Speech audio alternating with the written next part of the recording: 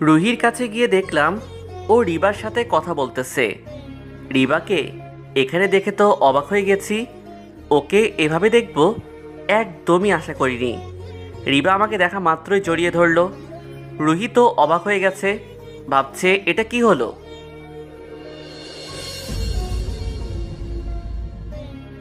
আরে ছাড়ুন তো, কে আপনি?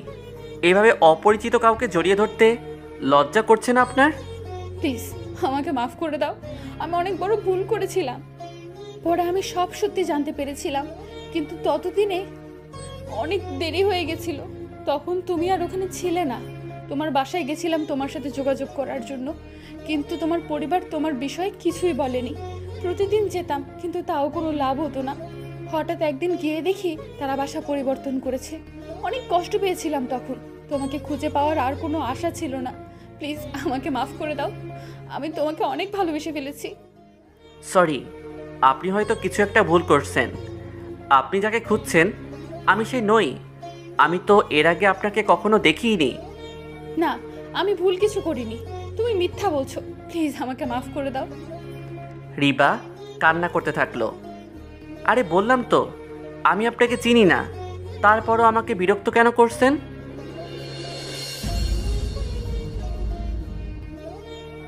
এর ভিতরেই লাঞ্চ টাইম শেষ হয়ে গেল। যে যার মতো কাজে ফিরে গেলাম। ধ্যাত মাথাটাই গরম হয়ে গেল। রিবা, এখানে কেন? আর কোনো জায়গায় কি জব করতে পারতো না? আর কি সব উল্টাপাল্টা বলছে?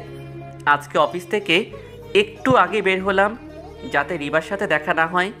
দেখা হলেই তো আবারও ঝামেলা, উল্টাপাল্টা বলা শুরু করবে। সব কিছু ভুলে ভালোই ছিলাম। কিন্তু এখন আবার এই রিবা আমার কপালটাই খারাপ। সব জায়গায় শুধু কষ্টই পেতে হয়।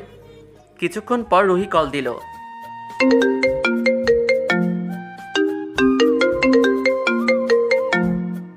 কোথায় তুমি? আজকে অফিস থেকে তাড়াতাড়ি বের হলে কেন? এমনি ভালো লাগছিল না তাই। তোমার সাথে কথা আছে। আচ্ছা কফি শপে আসো।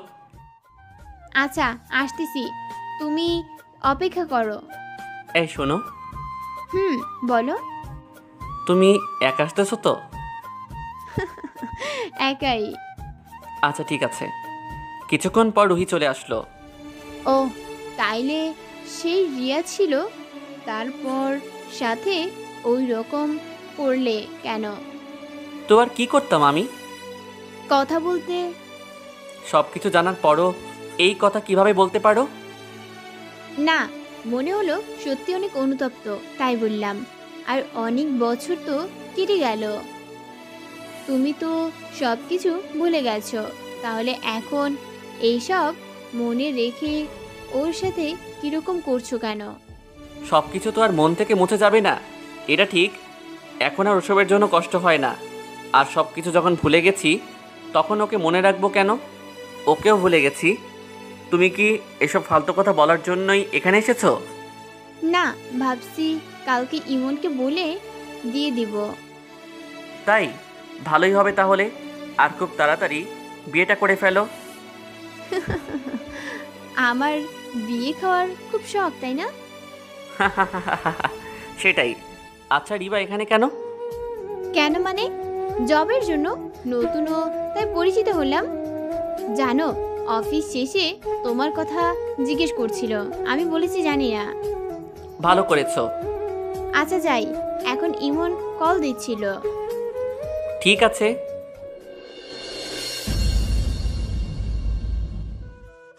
রাস্তা দিয়ে একা একা হাঁটতেছি আর ভাবতেছি সব কিছু তো ভুলেই গিয়েছিলাম। তাহলে আবার কেন? তা আমার সামনে চলে আসলো। সব বলে ভালোই ছিলাম। নিজেকে গুছিয়ে নিয়েছিলাম। কিন্তু এখন আবার সেই পুরনো স্মৃতি। হাঁটতে হাঁটতেই বাসায় চলে আসলাম। পরের দিন অফিসে গেলাম, লিফটে উঠবো, হঠাৎ কেউ ডাক দিল। তাকিয়ে দেখলাম রিবা আমার সামনে এসে বলল, প্লিজ আমাকে মাফ করে দাও। আমি জানি আমি অনেক ভুল করেছি। তাও বলছি, আমাকে একটা সুযোগ দাও। বিশ্বাস করো, আমি আর আগের রিবা নেই। অনেক পরিবর্তন হয়ে গেছি। আর আমার এই পরিবর্তনের কারণটা তুমি। প্লিজ আমাকে সব কিছুর জন্য মাফ করে দাও। আরে কী সব বলছেন? বললাম তো আমি আপনাকে চিনি না আপনি যাকে খুঁজছেন আমি সে নই আপনার কোথাও ভুল হচ্ছে। এটা বলেই আমি চলে আসলাম। দুই দিন পর রুহি দেখা করতে বলল তাই ওর সাথে দেখা করতে গেলাম। গিয়ে দেখি ইমনও আছে।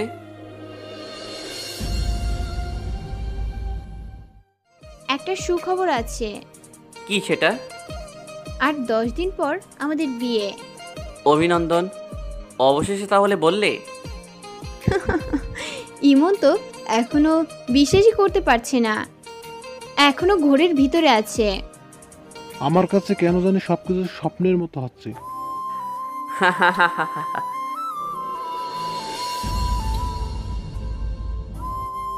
পরের দিন অফিসে গেলাম। ছুটির আবেদন করেছিলাম তা হয়ে গেছে। আজকেই অফিস শেষে বাড়িতে আসব। কত বছর পর বাড়িতে আসব? ভাবতে কেমন জানি লাগছে। অফিস শেষে, বাসায় এসে সব কিছু গুছিয়ে নিলাম, তারপর গাড়িতে উঠলাম। চার বছর পর বাড়িতে যাচ্ছি, নিজের শহরে যাচ্ছি। কত স্মৃতি সেই শহরে। একটা ঝড়ের জন্য সব এলোমেলো হয়ে গিয়েছিল। আমাকে নিজের বাবা মায়ের কাছ থেকে আলাদা হতে হয়েছে। নিজের শহর থেকে দূরে থাকতে হয়েছে। চোখ থেকে দু ফোঁটা পানি বেরিয়ে পড়ল। না এটা কোনো কষ্টের পারি না। এটা ফিরে যাওয়ার আনন্দে বাসার সামনে এসে কলিং বেল দিলাম। মা দরজা খুলে দিল। আমাকে দেখেই জড়িয়ে ধরলো।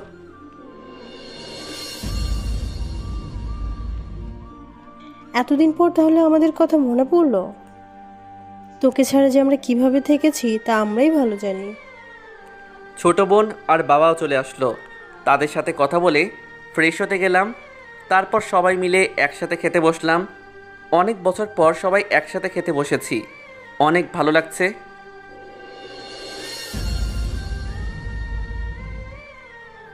রবিকে এখানে পাবো তা ভাবতে পারিনি। ও আমাকে এতটাই ঘৃণা করে যে আমাকে চিনতে পর্যন্ত পারছে না। ওর সাথে যা করেছি তার জন্য ওর এমন করাটা স্বাভাবিকই। তবে এটা ভেবে ভালো লাগছে যে এখন থেকে রবিকে প্রতিদিন দেখতে পাবো। এখান থেকে হারিয়ে যাবার ভয় থাকবে না। সকালে ঘুম থেকে উঠে ফ্রেশ হয়ে অফিসে আসলাম। রবিকে অনেক খুঁজলাম কিন্তু পেলাম না। ওদিন যে মেয়েটার সাথে দেখা হলো তার কাছে জিজ্ঞেস করলাম রবি কোথায়? ওকে তো দেখছি না? ছুটিতে আছে। কোথায় গেছে বলতে পারো? জানি না। জানি না রবি কখন ফিরবে। আমার অনেক ভয় হচ্ছে। যদি রবি আর না আসে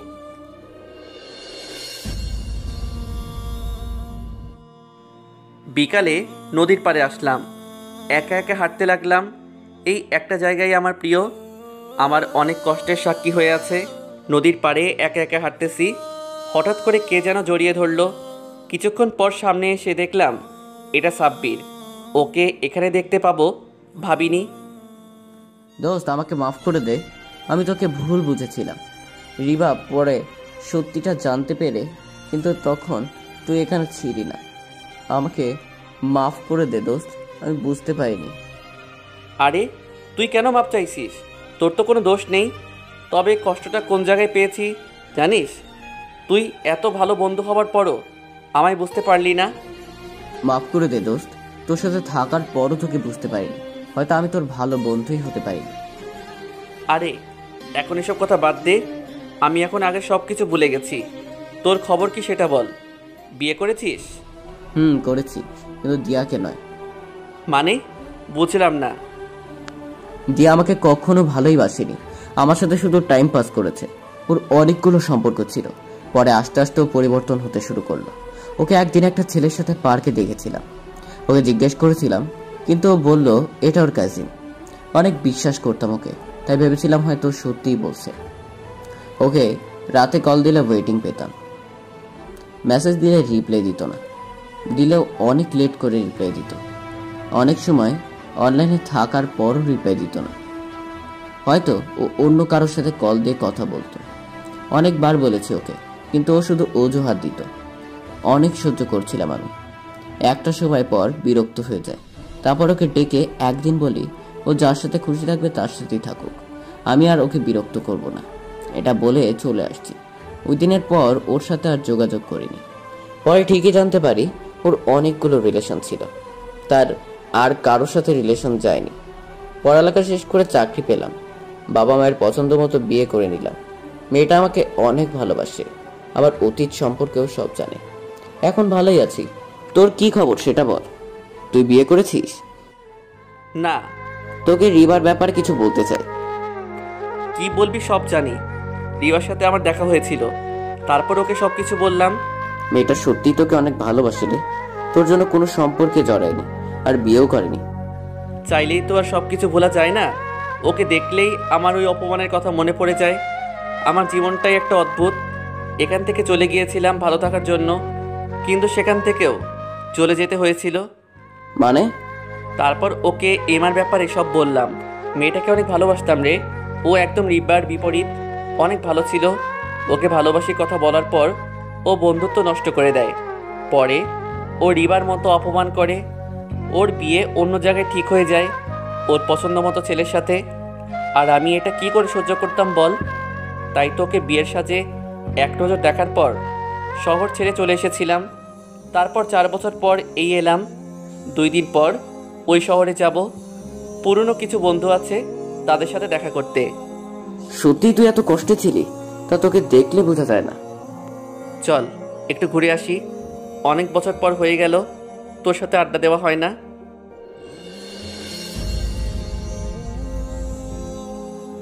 সাব্বিরের সাথে আড্ডা দেওয়ার পর রাতে বাসায় চলে আসলাম। দুই দিন পর আজকে মামার বাসায় আসলাম। বিকালে ইমরান আর মেহেদিকে কল দিলাম। ওদেরকে বললাম আমাদের আড্ডা দেওয়ার জায়গায় আসতে। ওদের জন্য অপেক্ষা করতে লাগলাম। কিছুক্ষণ পর ওরা আসলো। এসে আমাকে মারা শুরু করল, তারপর জড়িয়ে ধরলো। শালা এত বছর পর আমাদের কথা মনে পড়ল? তোকে তো মেরেই ফেলব। একবার কলও দিতে পারলি না এত বছরে।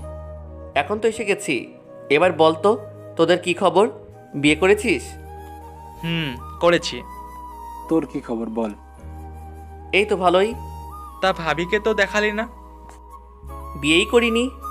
যার কপালে যা থাকে তা কেউ বদলাতে পারে না। মানে? কিছু না। কিছুক্ষণ পর ওরা বলল দোস্ত তুই থাক। আমাদের একটা কাজ আছে এখন যেতে হবে। কালকে আবার দেখা হবে। এটা বলেই ওরা চলে গেল। লেকের পাড়ে একা একা বসে আছি। দেখ মনটাই খারাপ হয়ে গেল। এতদিন পর দেখা আর আমার থেকে ওদের কাজ বড় হয়ে গেল? মন খারাপ করে একা একা বসে আছি। হঠাৎ কেউ বলল কেমন আছো? পিছনে তাকিয়ে এমাকে দেখে অবাক হয়ে গেলাম। ও এখানে কেন? ওর তো এখানে থাকার কথা না। হতে পারে হাজব্যান্ডের সাথে এসেছে? ভালো আপনি? ভালোই। তা আপনার হাজব্যান্ড কোথায়? তাকে তো দেখছি না। এ মা একটা দীর্ঘশ্বাস ছেড়ে বলল হাজবেন্ড আসবে কোথা থেকে? মানে? বিয়েটা হয়নি। বিয়ের দিন ও অন্য একটা মেয়েকে নিয়ে পালিয়ে গিয়েছিল। ও সরি। সরি বলছিস কেন? যা হয়েছে ভালোই হয়েছে। ওসব সেই কবেই ভুলে গেছি? কাছের মানুষকে শুধু কষ্টই দিলাম। জানি না কখনো সে আমাকে মাফ করবে কি না বিয়ে করেননি কেন? কারও জন্য অপেক্ষায় আছি। কে সে? তুই। অবাক হয়ে গেলি? তো তাই না? আচ্ছা বাদ দে। তোর কি খবর সেটা বল। বউ বাচ্চা কেমন আছে? বিয়ে করিনি। দুজনেই চুপচাপ কেউ কোনো কথা বলছি না। হঠাৎ নীরবতা ভেঙে এমা বলল